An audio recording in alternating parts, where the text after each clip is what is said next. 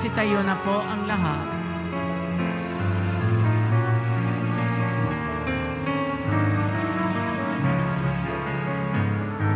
Ito ang lingkod na tapat, maaasahan sa lahat.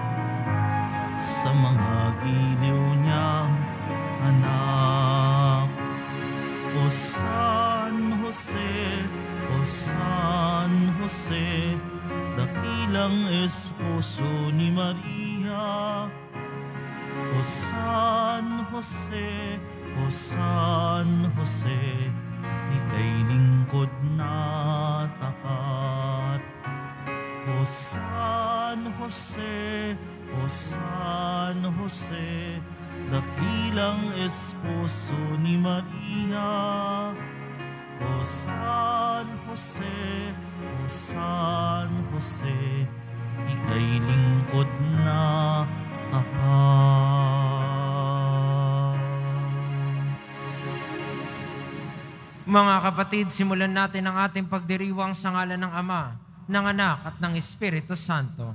Amen. Sumainyo ang Panginoon. At sumayo rin. Sa mga naririto po, gayon din ang mga sumusubaybay sa atin sa pamamagitan ng live streaming sa Facebook, YouTube, Twitter at TV Maria. Magandang umaga po sa inyong lahat. At sa mga kapatid nating nasa ibang panig ng daigdig, isang mapagpalang araw po. Ngayong araw ng ngayong araw ng Lunes po ay magbibigay daan tayo sa dakilang kapistahan ni San Jose. Kabiyak ng puso ng ating mahal na ina, tumayong ama ng ating puong Jesus Nazareno. No, dapat po ay sa ikalabing siyam ito ng Marso, subalit kahapon ay linggo ng Kwaresma. No, at ah, bahagi po ng ah, ating mga pamantayan sa simbahan na kung tumatapat sa linggo ang isang ah, piyesta, lalong-lalo na sa panahon ng Kwaresma, inililipat ito sa susunod na lunes. Kaya naman sa kapistahang ito, pagninilayan natin ang katapatan ng ating mahal na San Jose na sana kagaya ng kanyang pakikinig at pagiging tapat sa ating Panginoon ay maging matapat at bukas din tayo sa kalooban niya. Mga kapatid, aminin natin ang ating mga kasalanan upang tayo'y maging marapat gumanap sa banal na pagdiriwang.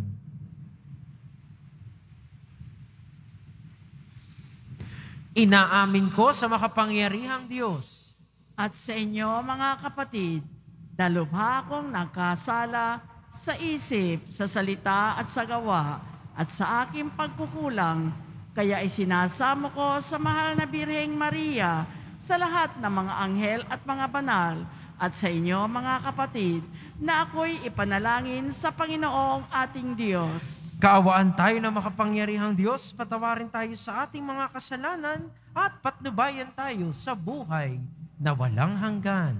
Amen. Panginoon, kaawaan mo kami. Panginoon, kaawaan mo kami. Kristo, kaawaan mo kami. Kristo, kaawaan mo kami. Panginoon, kaawaan mo kami. Panginoon, kaawaan mo kami. Sama-sama nating papurihan ang ating Panginoong Diyos.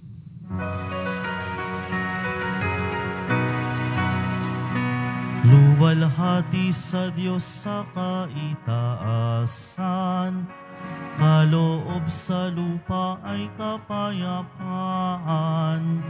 Pinupuri ka at ipinagdarangal, sinasamba ka dahil sa dakila mong kalwalhatihan. Panginoon naming Diyos, Hari ng langit, Amang makapangyarihan, Panginoong Yesu Kristo, buktong na anak ng Diyos, Kordero ng Ama. Ikaw na nag-aalis ng mga kasalanan ng sanlibutan. Tanggapin mo ang aming kahilingan Ikaw na naluluklok sa kanan ng Ama Maawa ka sa amin Ikaw lamang ang banal Panginoong Heso Kristo kasama ng Espiritu sa luwalhati ng Ama. Amen. Amen. Amen. Amen.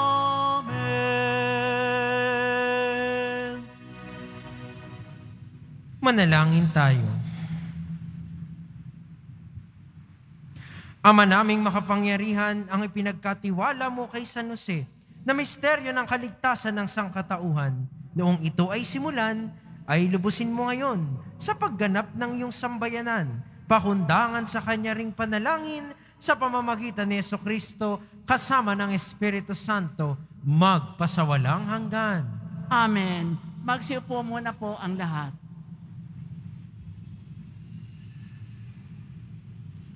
Pagbasa mula sa ikalawang aklat ni Samuel.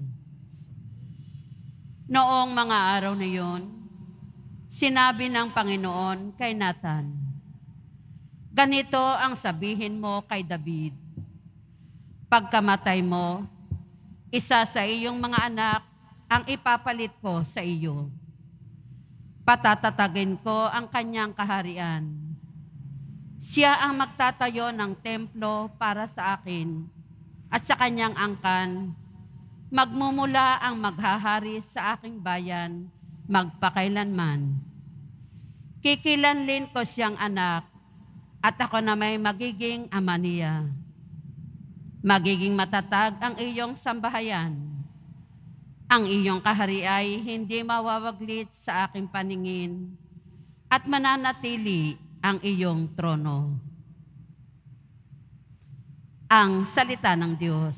Salamat sa Diyos. Lahi niya'y walang wakas, kailan may hindi lilipas.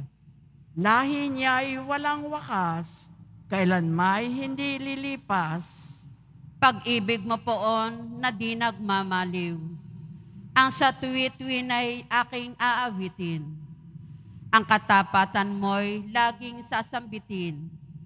Yaong pag-ibig mo'y walang katapusan. Sintatag ng langit ang iyong katapatan. Lahi niya'y walang wakas, kailan may hindi lilipas. Sabi mo poon, ikaw ay may tipan, na iyong ginawa kay David mong hirang. At ito ang iyong pangakong iniwan isa sa lahi mo'y laging maghahari. Ang kaharian mo ay mamamalagi. Lahi niya'y walang wakas, kailan may hindi lilipas. Ako'y tatawaging Ama niya't Diyos, tagapagsanggalang niya't manunubos. Ang aking pangako sa Kanya'y iiral at mananatili sa Kanya ang tipan. Lahi niya'y walang wakas, kailan may hindi lilipas.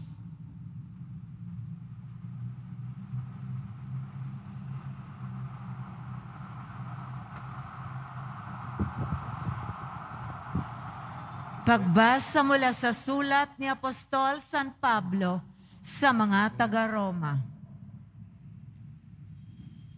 Mga kapatid, Ipinangako ng Diyos kay Abraham at sa kanyang lahi na mamanahin nila ang sanlibutan.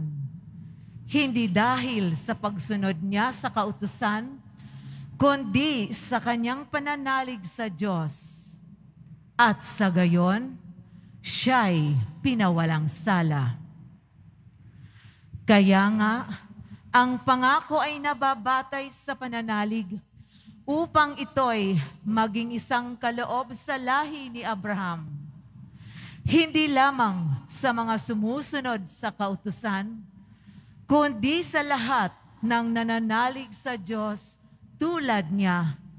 Yamang siya ang Ama nating lahat. Ganito ang nasusulat. Ginawa kitang ama ng maraming bansa. Ang pangakong ito ay may bisa sa harapan ng Diyos na kanyang pinananaligan. Ang Diyos na bumubuhay sa mga patay at lumikha ng lahat ng bagay. Bagamat wala ng pag-asang magkaanak, nanalig pa rin si Abraham na siya'y magiging ama ng maraming bansa. Ayon sa sinabi sa kanya, kasing dami ng bituin ang magiging lahi mo. Kaya't dahil sa kanyang pananalig, siya'y pinawalang sala. Ang salita ng Diyos Salamat sa Diyos. Magsitayo na po ang lahat.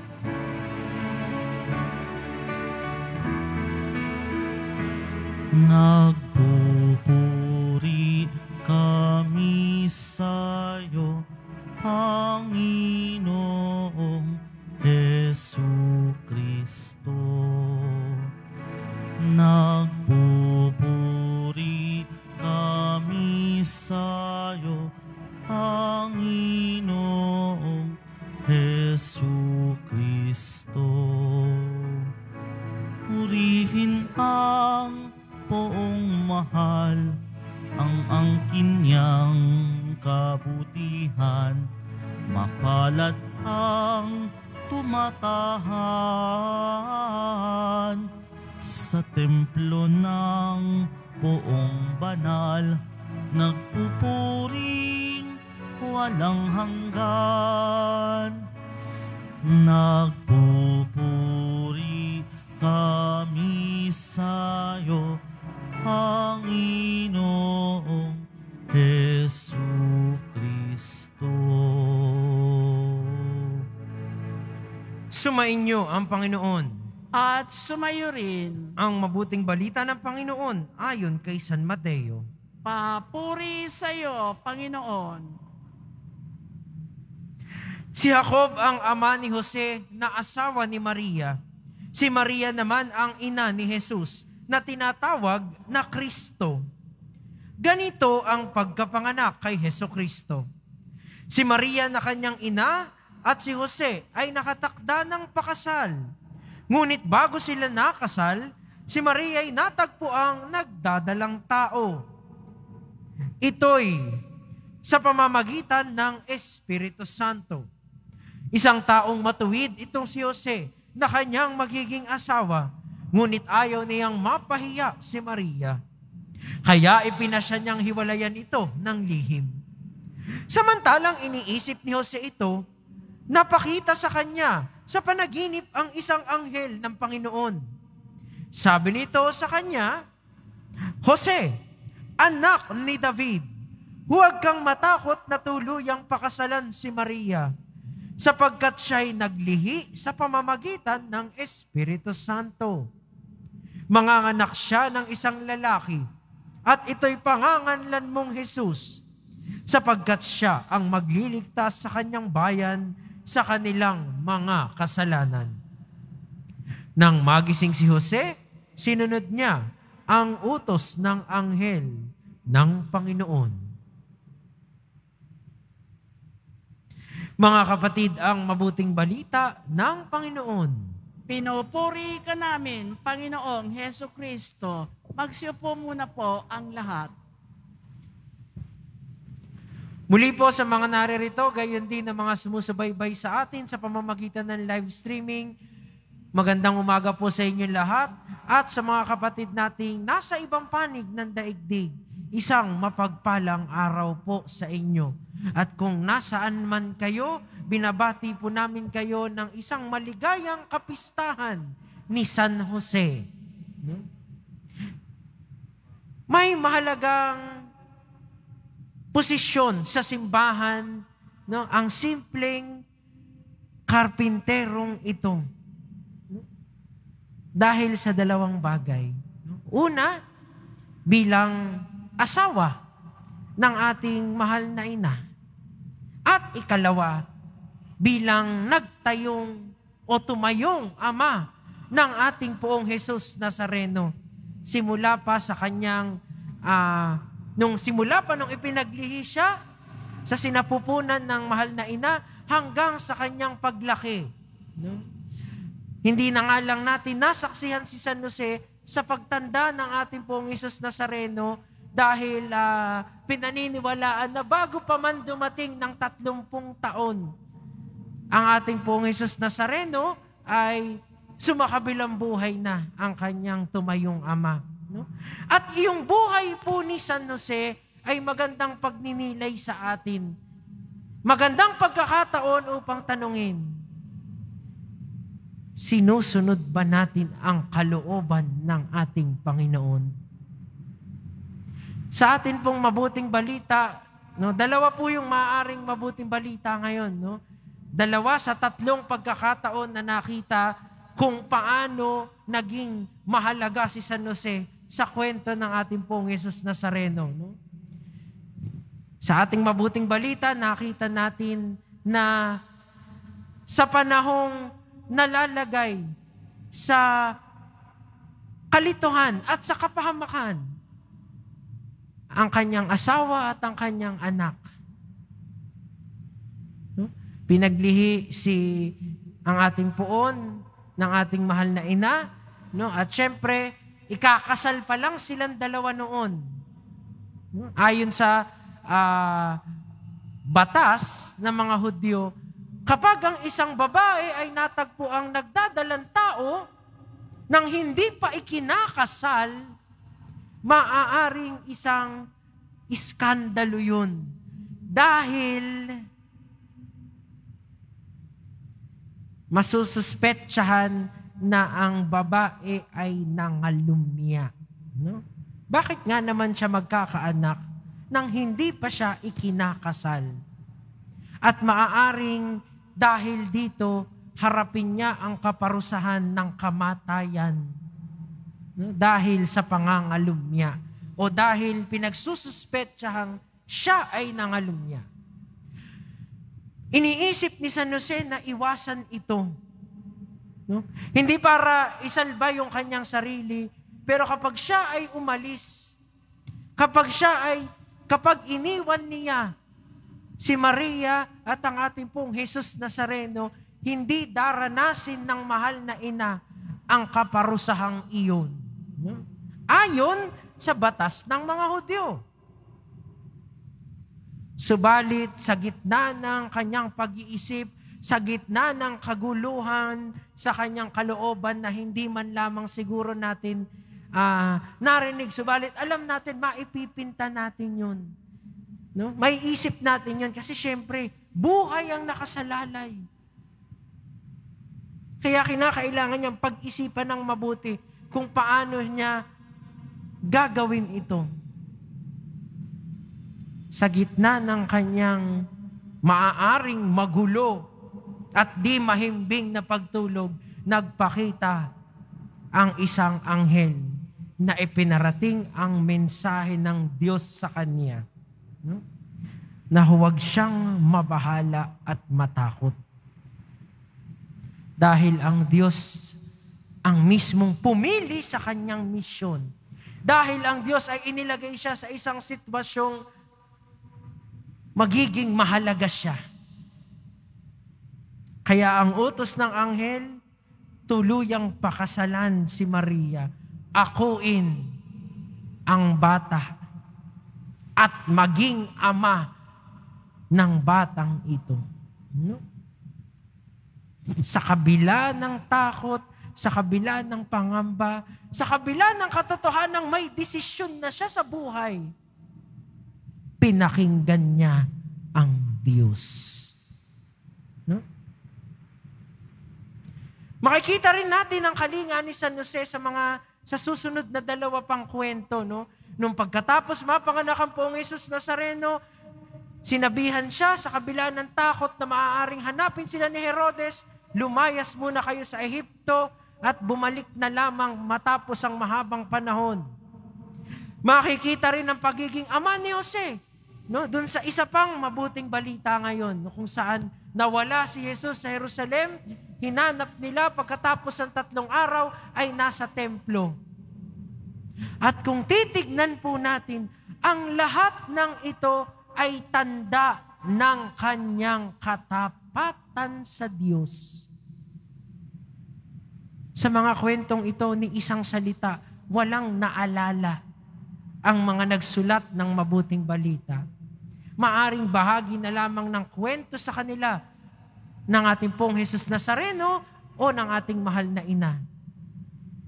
Pero ang nanatili sa buhay ng mga tagasunod ng ating poong Jesus Nazareno sa ating simbahan ngayon ay ang katapatan at katapangan ni San Jose na sundin ang kalooban ng Diyos.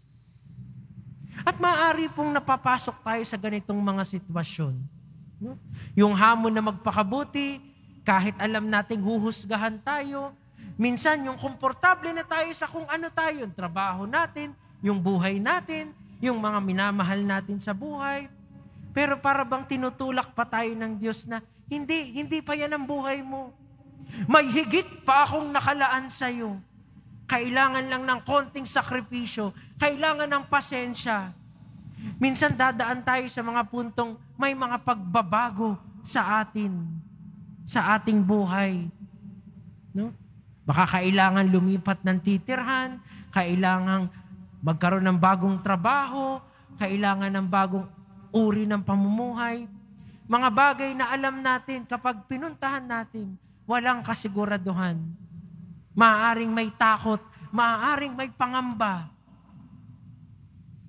Pero kung pinagdasalan naman natin at malinaw sa atin na ito ay kalooban ng Diyos, na gusto rin ito ng Diyos para sa atin, marahil kumakatok na rin sa ating mga puso't isipan ang mga salita ng anghel ngayon na salita rin ng Diyos. Huwag kang matakot huwag kang mangamba dahil may nakalaan ako para sa iyo.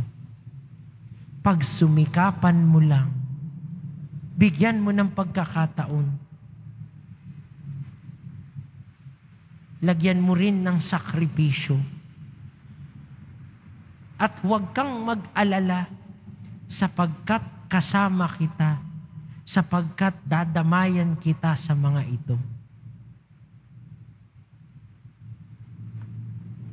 Naway, mga kapatid, sa pagpapatuloy ng ating banal na misa, makita po natin ang halimbawa ni San Jose na sa kabila ng takot, pangamba, sa kabila ng mga maaaring pagbabago sa buhay, malinaw sa Kanya na ang nararapat lamang ay sundin ang kalooban ng Diyos. At hingin din po natin, nakatulad ni San Jose, tayo magkaroon ng katapangan, ng katapatan at ng lakas ng loob na sundin ang kalooban ng Diyos, na sundan kung saan niya tayo nais tumungo sa ating buhay.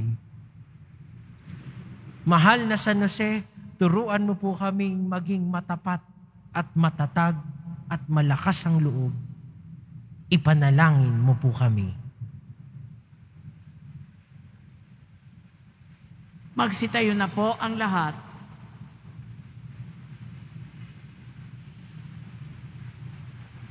Bilang isang bayang tinipon ng Diyos na tinatawag na maging matapat sa Kanya, ipahayag natin ang ating pananampalataya.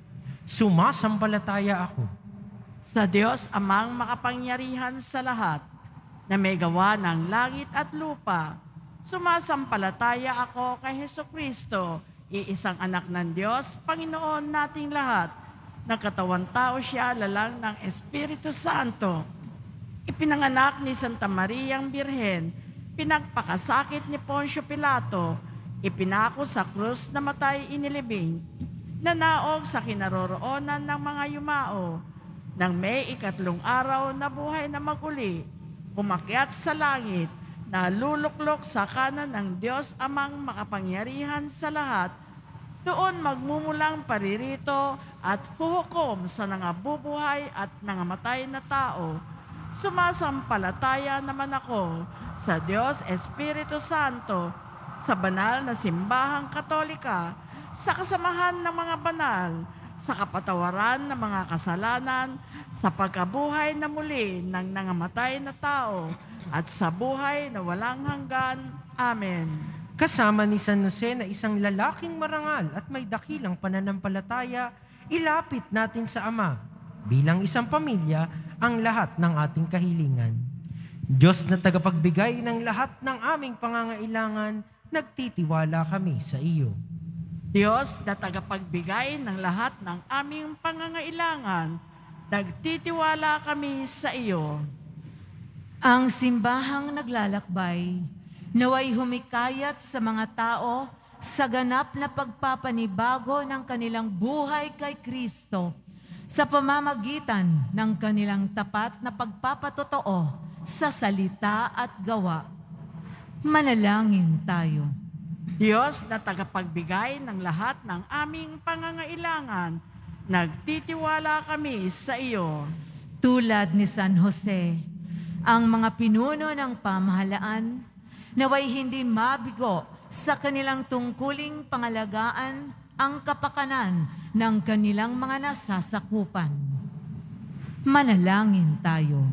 Diyos na tagapagbigay ng lahat ng aming pangangailangan, nagtitiwala kami sa iyo.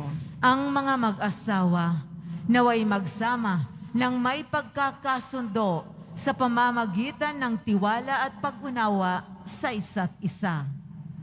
Manalangin tayo. Diyos na tagapagbigay ng lahat ng aming pangangailangan, nagtitiwala kami sa iyo.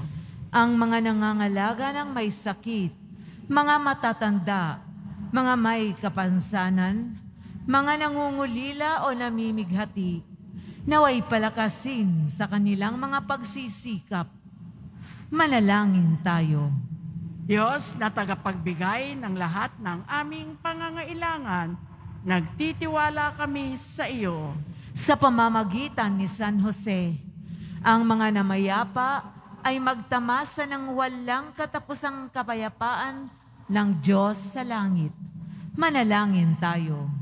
Diyos na tagapagbigay ng lahat ng aming pangangailangan, nagtitiwala kami sa iyo. Sa katahimikan ng ating puso't diwa, ay alay natin sa Panginoon ng ating mga panalangin, gayon din ang mga panalangin ng mga taong mahalaga sa atin. Sama po natin sa ating mga dasal, ang mga frontliners at health workers na sa kanilang mga araw-araw na hinaharap na hamon ay nananatiling tapat sa Diyos sa pamamagitan ng kanilang paglilingkod sa kapwa. Manalangin tayo. Diyos na tagapagbigay ng lahat ng aming pangangailangan, nagtitiwala kami sa iyo. Ama naming nasa langit sa iyong kagandahang loob at sa pamamagitan ni San Jose, ipagkaloob mo ang aming mga hinaing, dala ng aming pananampalataya. Hinihiling namin ito sa pamamagitan ni Kristong aming Panginoon. Amen. Magsiupo muna po ang lahat.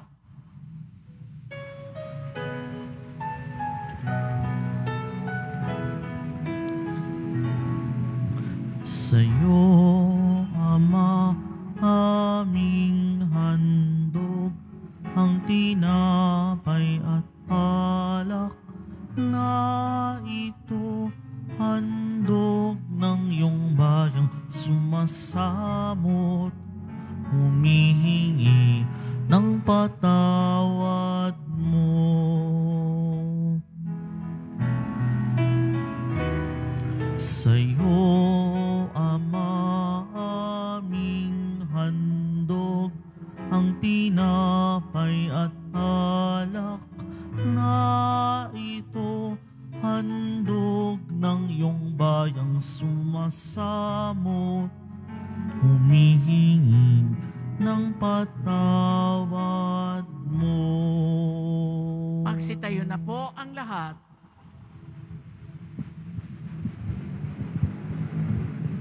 Manalangin kayo mga kapatid upang ang paghahain natin ay kalugdan ng Diyos amang makapangyarihan.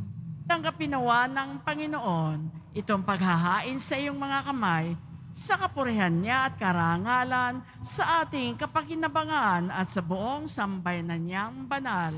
Ama naming lumikha ang maaasahang paglilingkod ni San Jose sa iyong anak na isinilang ng mahal na Biring Maria, ay siya rin namang maganap sa aming paghahain.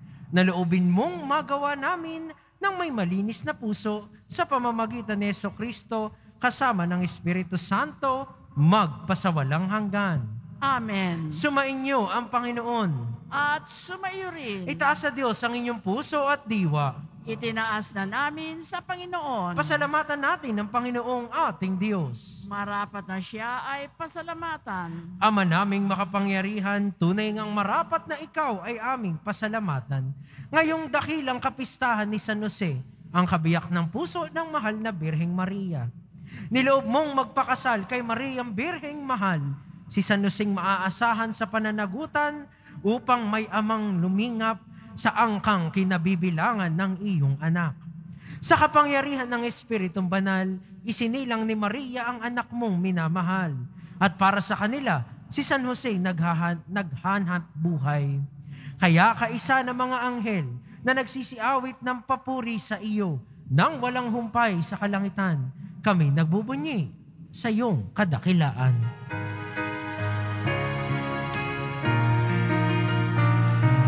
Santo, Santo, Santo, Panginoong Diyos ng mga hukbo, napupuno ang langit at lupa ng kadakilaan mo.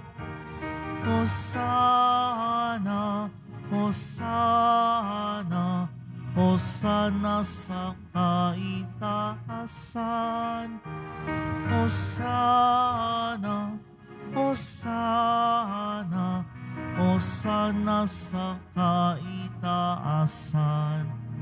Pinagpala ang naparirito sa ngalan ng Panginoon. Hosana, Hosana, Hosana sa kaitaasan. Hosana, Hosana, Hosana sa kaitaasan. Magsiluhod na po ang lahat. Ama naming banal, ikaw ang bukal ng tanang kabanalan. Kaya't sa pamamagitan ng iyong Espiritu, gawin mong banal ang kaloob na ito upang para sa amin maging katawan at dugo ng aming Panginoong Heso Kristo. Bago niya pinagtiis ang kusang loob na maging handog, hinawakan niya ang tinapay. Pinasalamatan kaniya. Pinaghati-hati niya iyon. Iniabot sa kanyang mga alagad at sinabi, Tanggapin ninyong lahat ito at kanin. Ito ang aking katawan na ihahandog para sa inyo.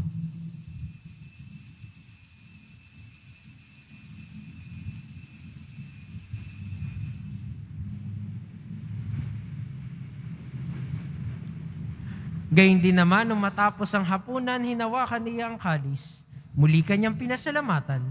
Iniabot niya ang kalis sa kanyang mga alagad at sinabi, Tanggapin ninyong lahat ito at inumin. Ito ang kalis ng aking dugo, ng bago at walang hanggang tipan. Ang aking dugo na ibubuhos para sa inyo at para sa lahat sa ikapagpapatawad ng mga kasalanan. Gawin ninyo ito sa pag-alala sa akin.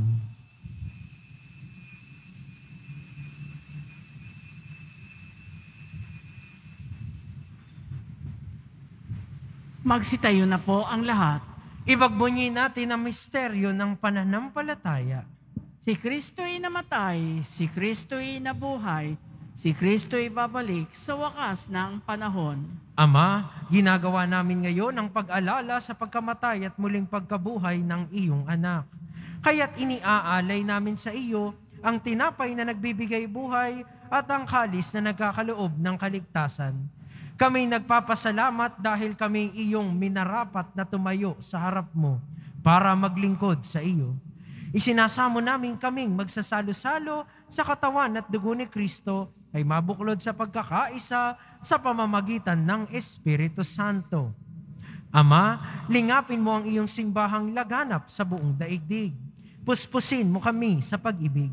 Kaisa ni Francisco na aming Papa at ni Jose na aming Obispo at ng Tanang Kaparian. Alalahanin mo rin ng mga kapatid naming nahimlay nang may pag-asang sila'y muling mabubuhay, lalong-lalo na si Jomelo, gayon din ang lahat ng mga pumanaw.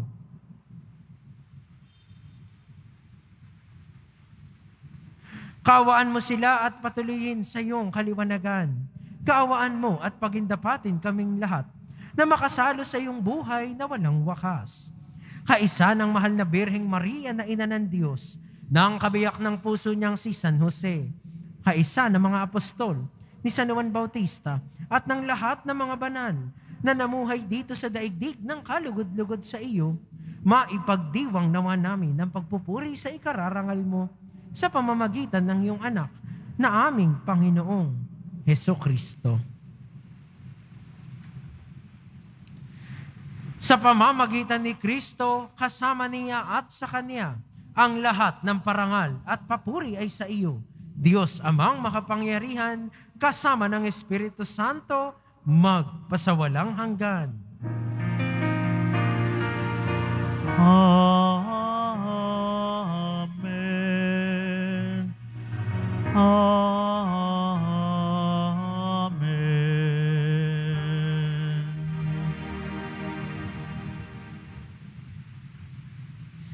Sa tagubilin ng mga nakagagaling na utos at turo ni Jesus na Panginoon natin at Diyos, ipahayag natin ng lakas loob. Ama namin, sumasalangit ka, sambahin ang ngalan mo, mapasa amin ang kaharian mo, sundin ang loob mo dito sa lupa para ng sa langit. Bigyan mo kami ngayon ng aming kakanin sa araw-araw at patawarin mo kami sa aming mga sala para ng pagpapatawad namin sa nagkakasala sa amin at huwag mo kaming ipahintulot sa tukso at iadya mo kami sa lahat ng masama. Hinihiling namin kami iadya sa lahat ng masama, pagkalooban ng kapayapaan araw-araw, iligtas sa kasalanan at ilayo sa lahat ng kapahamakan. Samantalang aming pinananabikan ang dakilang araw ng pagpapahayag ng tagapagligtas naming si Heso Kristo. Sapagkat iyo ang kaharian at ang kapangyarihan at ang kapurihan magpakailanman. Amen. Panginoong Heso Kristo, sinabi mo sa iyong mga apostol, kapayapaan ang iniiwan ko sa inyo. Ang aking kapayapaan ang ibinibigay ko sa inyo. Tunghayan mo ang aming pananampalataya at huwag ang aming pagkakasala. Pagkalooban mo kami ng kapayapaan at pagkakaisa ayon sa iyong kalooban, kasama ng Espiritu Santo, magpasawalang hanggan. Amen. Ang kapayapaan ng Panginoon ay laging sumainyo. At sumayo rin. Magbigayan po tayo ng kapayapaan sa isa't isa.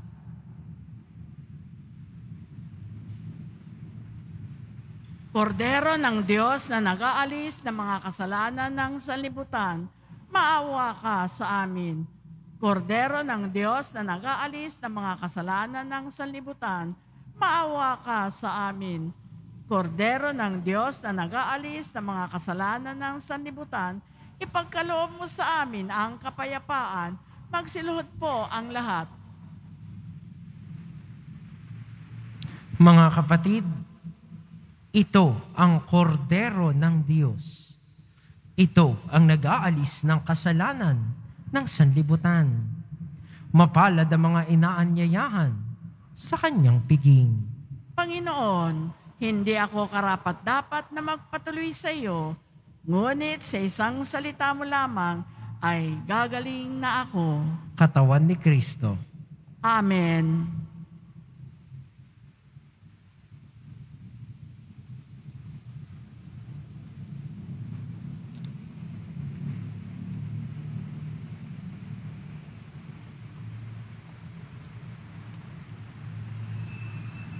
Para sa lahat ng tatanggap ng banal na komunyon, ang tamang paraan ng pagtanggap ay kaliwang kamay sa ibabaw ng kanang kamay at sasagot po tayo ng amen pagkasabi ng pare o ng lay minister ng katawan ni Kristo at isupo sa bibig bago umalis sa harapan ng pare o lay minister.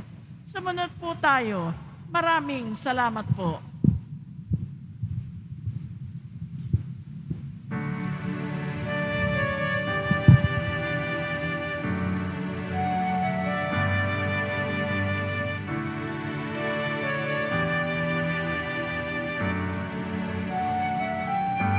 O San Jose, ikaw ang tunay na huwaran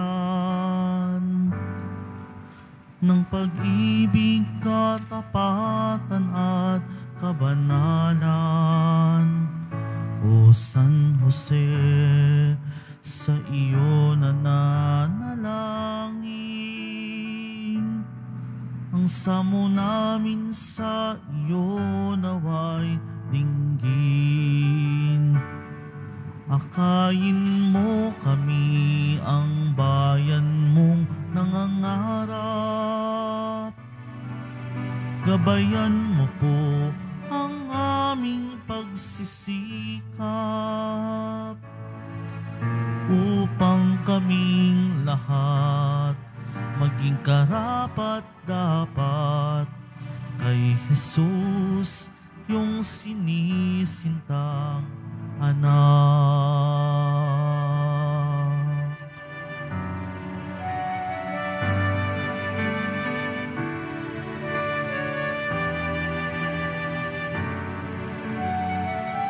O San Jose, ikaw ang tunay na huwaran ng pag-ibig, katapatan at kabanalan. O San Jose, sa iyo nananalangin. Ang samo namin sa iyo naway dinggin. Akayin mo kami ang bayan mong nangangarap. Gabayan mo po ang aming pagsisikap upang kaming lahat maging karapat dapat kay Jesus yung sinisintang anak. Kay Jesus yung sinisintang anak.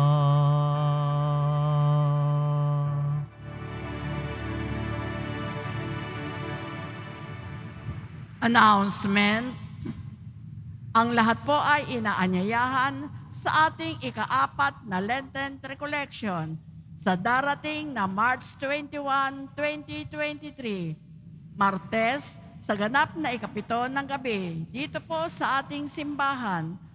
Ang ating tagapagsalita sa araw na iyon ay si Reverend Father Jonathan Noel Mojica, ang atin pong parochial vicar. Maraming salamat po. Pinapaalalahanan ang lahat na huwag maging kampante sa banta ng COVID-19, bagkos dapat natin ipagpatuloy ang tamang pagsunod sa minimum public health standards, ang pagsusuot ng tamang face mask. Pagkatapos ng misa, wiwisikan po ang lahat ng banal na tubig. Pinakikiusapan ang lahat na manatili lamang muna sa inyong mga lugar at tanging sa Quezon Boulevard o sa Plaza San Juan lamang ang labasan ng lahat. Sumunod po tayo. Maraming salamat po sa inyong pagdalaw at pagsisimba sa Basilica Minor ng Itim na Nazareno. Magsitayo na po ang lahat. Manalangin tayo.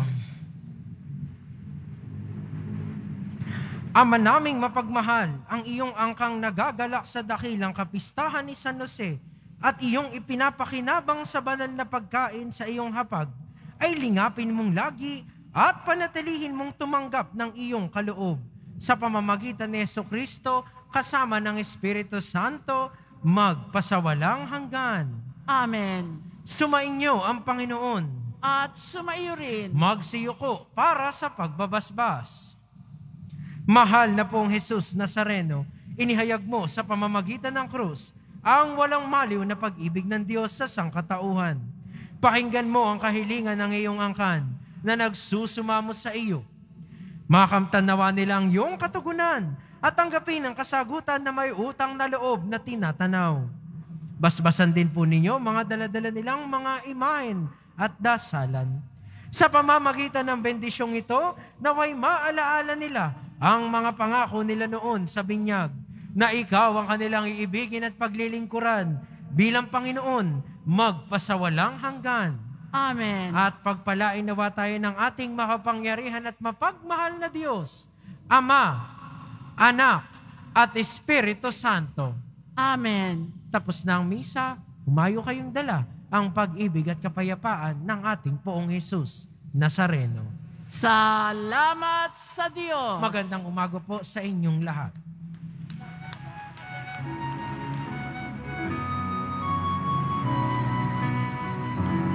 Nuestro Padre Jesús Nazareno, sinasamba ka namin. Pinipintuho ka namin. Aral mo ang aming buhay at kaligtasan. Nuestro Padre Jesus Nazareno, iligtas mo kami sa kasalanan. Ang krus mong kinamatayan ay sagisag ng aming kaligtasan. Nuestro Padre Jesus Nazareno, dinarangal ka namin. Nuestro Padre Jesus Nazareno, nilulwalhati ka namin. Nuestro Padre Jesus Nazareno, dinarangal ka namin. Nuestro Padre Jesus Nazareno, niluluwalhati ka Hanami.